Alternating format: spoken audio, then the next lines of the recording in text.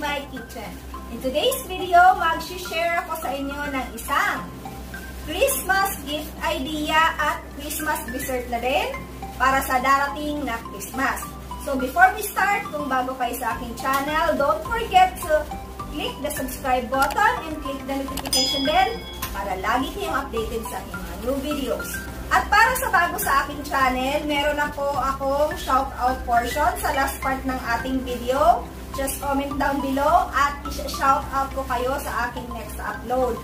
So guys, ang gagawin natin, napakadali lang nito. 5 uh, ingredients lang ang kailangan natin para sa ating Christmas gift idea at Christmas dessert na din. So, eto na ang ating mga kailangan para sa recipe na gagawin natin for today. So, para sa ating mga ingredients, kailangan natin ng cocoa powder. So, ang gamit ko ay ang ALCL Casa Bambina Premium Cocoa Powder. Kailangan natin ng 1 can condensed milk, unsalted butter, next ang ating dark chocolate, and para sa last na ating kailangan sa paggawa ng ating dessert for today ay ang mga sprinkles na iba't ibang kulay. At gagamit din tayo ng extra cocoa powder. So, ayan lang ang ating mga kailangan sa ating gagawin for today.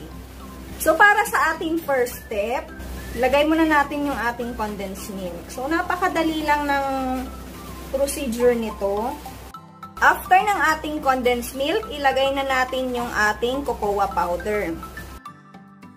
Then, imimix ko muna siya. Pero hindi pa to nakasalang sa ating gas range. Hahaluin ko muna siya bago ko siya isasalang sa ating gas range.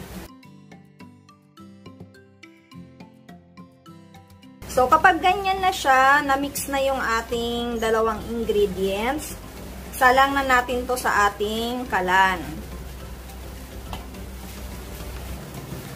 So, ito ay bubuksan ko na yung ating apoy. Low lang ang apoy natin. Tapos, mimix ko lang siya or hahaluin ko lang siya hanggang sa medyo magtik ang ating condensed milk and cocoa powder. So, dapat hindi ito pababayaan na hindi hinahalo. Tsaka, ang tip ko din, dapat non-stick ang inyong kawali or saucepan. Itong ginagawa natin magandang pangregalo to, lalo na sa mga chocolate lover, yung mga mahilig sa tsokolate, lalong-lalo na yung mahilig sa dark chocolate. So, ang ginamit nating chocolate bar dito, dark. So, pag ganito na ang ating consistency, Ayan, ganyan na siya. Ilalagay ko na yung aking butter. Continue mixing lang hanggang matunaw yung ating butter. Inaano ko siya, inahalo ko siya hanggang sa kailaliman niya para hindi masusunog yung ilalim niya.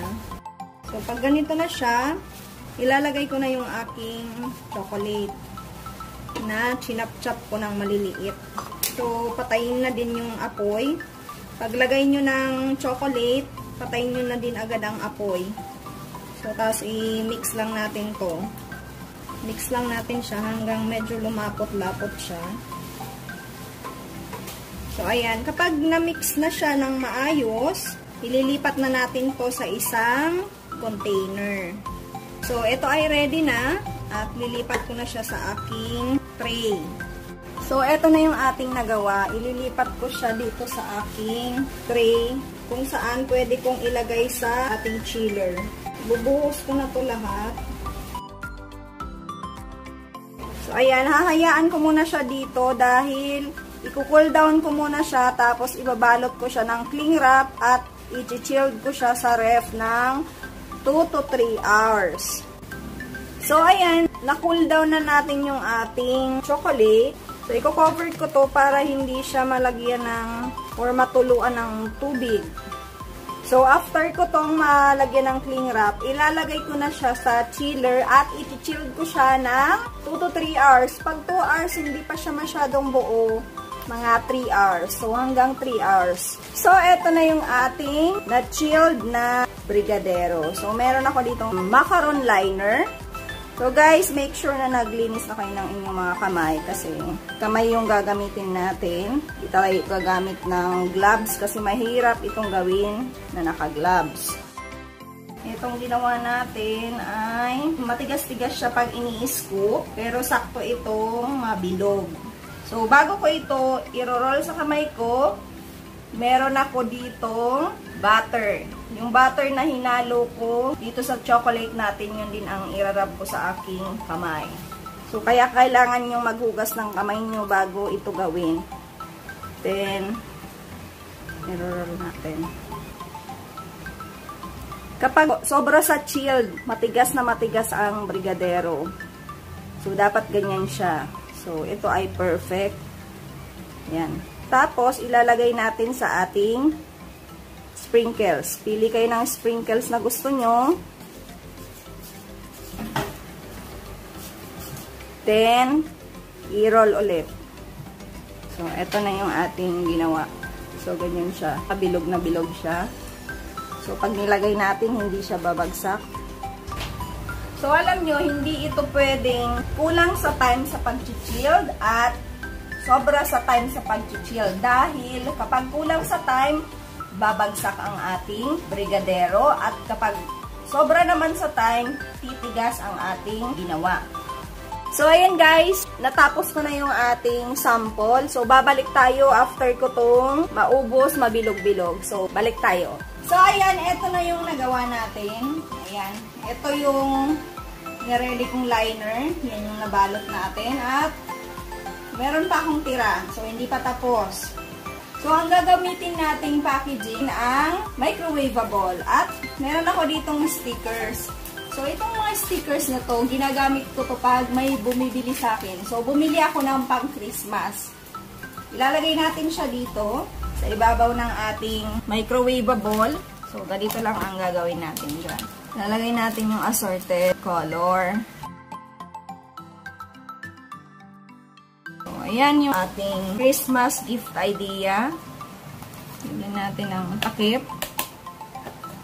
Then, pipili ako dito ng stickers. Santa Claus at Merry Christmas. So, dito ko siya ilalagay. So, ayan! Napakasimple ng ating gift ideas. Pwede ring business idea. So, ganyan. So, after nyo tong malagay sa packaging, ilagay sa chiller. So, pwede kayo makagawa ng tatlong ganito sa ating measurement. So, ito na ang ating finished product ng ating ginawang Christmas gift idea at Christmas dessert na din. Ito na siya. At magti-taste test tayo. So ako, hindi ako chocolate lover. Ang aking family ang mahilig sa tsokolate kaya lagi akong gumagawa ng chocolate dessert. So, ito yung kukunin ko. Ito yung may chocolate sprinkle.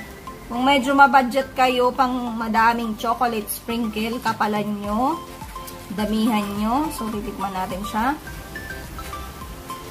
Ayan ha. Ganyan ang ating chocolate. So, dapat dark chocolate ang ilagay nyo kasi pantimpla siya doon sa sweetened condensed milk. Kasi kapag nilagay nyo milk chocolate, masyadong matamis ang gagawin nyo. So, tamang-tama to, panghimagas after Christmas, after nyo kumain ng mga pagkain pang holidays. So, maganda to, panghimagas. So guys, itry nyo tong ating homemade brigadero. Alam ko, matutuwa ang pagre-regaluhan nyo nito at matutuwa ang inyong family, lalo-lalo na kung chocolate lover sila. Magugustuhan nila to. So ayan na guys, magsha-shoutout na tayo sa ating mga taga-subaybay para sa ating first shout out. Shout out kay Eileen Peña Florida, Ninia Aquino, JM Abatayo, Josefa Argeles. Another shout out sa ating friend na si Mami Fati. Another shout out kay Amira Manaig. Nilda Melay. Christina Zaira Camino. Jane Lariba, Michelle Lirag, Mamshi Discarte, Clarissa Lawagan, Shane Marie Iguin, and last kay Eileen Di Gracia. So hanggang dito na lang ang ating shoutout for today. Thank you for watching at sana nagustuhan nyo ang ating Christmas gift idea. See ya! Bye-bye!